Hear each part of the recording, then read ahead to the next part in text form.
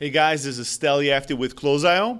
This morning I was on a phone call with a sales guy that just started working at a startup. It's his first time being a salesperson and has been so successful over the last couple of months that he's now going to have to start hiring more salespeople and actually become a sales leader.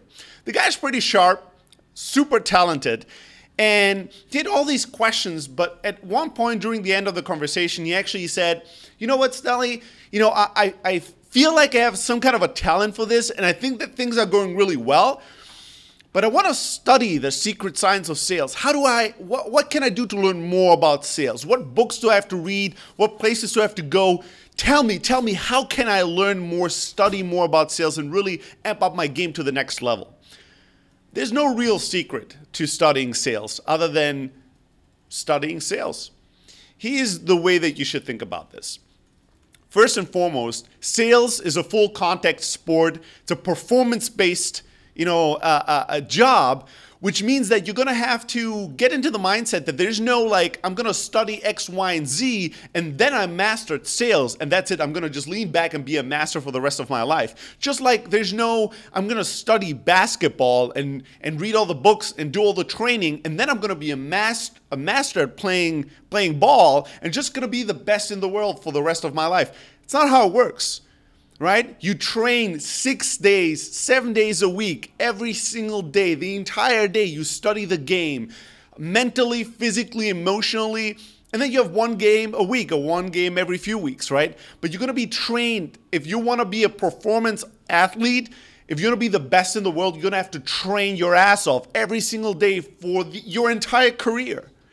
And it's the same thing with sales. If you want to be the best in sales, you're to have to study sales every single day of your life. There's no point where you magically have arrived at mastery. And even if you do, just lean back uh, and and get lazy for just a, a, few weeks or a few months, and you'll see your game dropping, your sales abilities dropping, and, and you're becoming stale, and ultimately, uh, you know, losing your sales pro license. So, what to do to constantly study sales? Beyond just practicing it, and actually not just practicing it, but also observing it. What do I mean by that? I mean, when you do sales calls, or if you have sales meetings, or when you do sales presentations or pitches, record yourself and listen to yourself. Study yourself you know, studying yourself is going to be the best way for you to be gain wisdom and actually really realize what works and doesn't, how you perform sales and what your quirks are, the things, your mistakes, and the little things that make you unique in a good way, but also in a bad way. And it's going to allow you to iterate on your own game and improve on it. Just like pros watch their own games and their own performance in the video analysis, you want to do call recordings, you want to do video recordings of your pitches and study your body language, your voice, your tonality, the way they come across, uh, all the things that you do that you want to edit out and improve on, and constantly study yourself. Practicing and performing sales is going to be a massive well of information um, and knowledge and you know, no better way to really gain wisdom uh, than to look inside and actually study yourself first before you go out and study others. Now, that should be a, a staple of your sales studying, you know, practices from day one. And the way that you coach yourself to real mastery is to constantly study yourself in your own performance. The next thing you, that you should do is really get into the love of uh, read, reading and, and, the love of books and blogs. I mean, there's so much material out there on Quora on blogs, books. There's so much stuff around sales. It's just unlimited amount of information, and you should be consuming okay. any information coming from all different places. Uh, the guy was asking me, "Hey, what are all the startup sales books that I could read?" Well, now I do have a book. It's called The Ultimate Startup Guide to Outbound Sales. There's going to be a lot more books coming.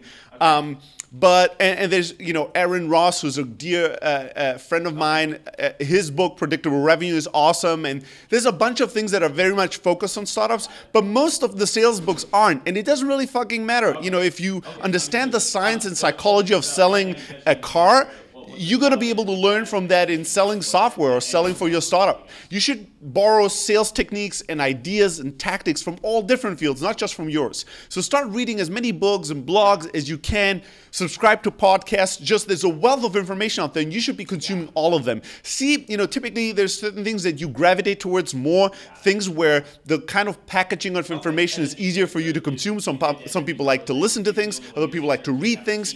Whatever works for you, do more of that. And do it consistently every single day. Then you study yourself you study kind of the, the, the content that's out there the the videos the audios the books everything that's out there. Just go to youtube and type in sales or sales coaching or sales ideas or sales mentoring or sales tactics. You'll get millions and millions of talks presentations and videos of people like me and others that that really share their knowledge. And you should be able to share to pick something to learn from almost anyone. So once you study yourself, once you start studying the content that's out there, reading the books and listening to the, the podcast and all that, you should look for mentors, look for coaches, people that can coach you, give you feedback, people that are pros, people that have done what you need to do, that have gone where you need to go, and can tell you about their journey and how to course correct your own way of getting there. Uh, look for people that are, you know, one or two steps ahead of you and that can coach you and give you advice and give you feedback and learn from. Try to build a network of coaches and, and, and mentors, and not just look for mentors and people that are you know, further away in their career to learn from, but also look for peers. Look for other people that are just in the position that you are, that just started doing sales, just started hiring their first salespeople, and try to connect with these people and build a peer network, a mastermind group, whatever you want to call it. Meet up with them once a week, once a month, have drinks, you know, go for mini golf, whatever the hell you want to do, and and talk about your challenges, talk about your le- learnings, talk about the your wins and your losses share your knowledge with each other. The latest book you've read the thing you learned and and and create you know, uh, sharing of information knowledge on a peer level, which is a completely different thing. It's going to give you different insights, different information, um, different inspiration than the learnings you're going to get from mentors and coaches. And that's going to give you totally different learnings than you studying yourself or you reading and consuming content from completely complete strangers and what they've learned in sales. All these different channels will help you amp up your sales game, you know, the theoretical side of things as well as on the practical side. It's going to give you new ideas, new inspirations, new motivations, new things to try out, new experience to gain from, and ultimately and incrementally will improve your sales game every single day. And then the mastery of it all, start teaching others. There's no better way to learn than to teach. This is one of the reasons why I've always loved teaching others. Not just because I love sharing my information, sharing the things I'm passionate about, not just because I love people and I love seeing them develop and grow and, and, and sharing things with them that will help them create more value in their lives and, and, and create more growth for, for their lives and their business, but because every time I teach something, it it brings up my game a little bit higher because every time I teach something, I learn something myself. You know, there's a different kind of level of understanding it takes for you to be able to actually be able to teach something to somebody else.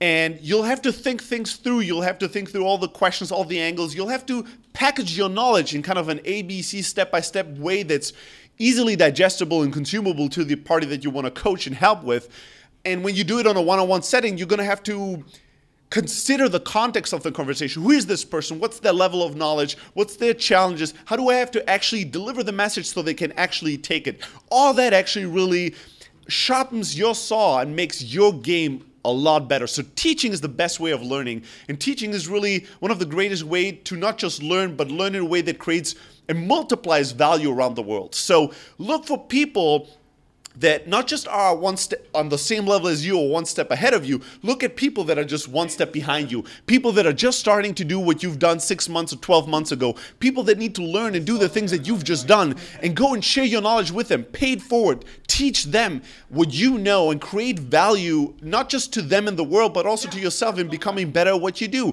and not just look at, at, at, people to teach. Maybe you're able to teach about in writing. Maybe you're going to start a blog and write your sales uh, learnings or write summaries about the books you read or the peer group reviews that you've just had. Share your notes there. Maybe you blog, maybe you do videos, maybe you do some SlideShare presentations, whatever the format is, is that's mo- easiest to you, most comfortable to you. Maybe you're going to go teach people one on one, but maybe you also want to go and teach one to many and actually put content out there in the world yourself and make the world a better place, right? Uh, nothing would I love to read more than a blog that states, hey, I just started selling. It's my first week. I'm going to share all my lessons learned about sales. That's fucking fascinating. I- have been doing sales my entire fucking life. I've been managing salespeople my entire life. I've taught thousands of salespeople, and I would subscribe to that blog and read it every single day. I'd want to learn and go back to my you know beginner days and kind of relearn a lot of things from the, that person's perspective. So there's not not a perspective that's not compelling as long as you have a real point of view and you're willingly sharing everything you're actually learning in the world.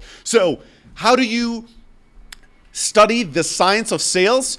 Is by learning whenever you can from whoever you can, however you can and really becoming a lifelong learner. The best salespeople, the most amazing sales performers are lifelong learners. That's the one thing they all have in common. They've learned to love learning and they've learned to study themselves, study other people, and constantly find new ways to actually amp up their game, come up with new ideas, being creative, and really just resharpen their saw so when they go out to actually, you know, uh, get a result, it's not going to need any power and force anymore, but it's going to be all elegant. So promise me this. Promise me to start learning wherever you can from all different sources. Promise me to fall in love with learning. If you fall in love with learning and if you keep your eyes and ears and senses open to opportunities to learn, you're going to find them anywhere and you're going to become a better salesperson and study and, and master the art of uh, the art and science of sales every single day of your life.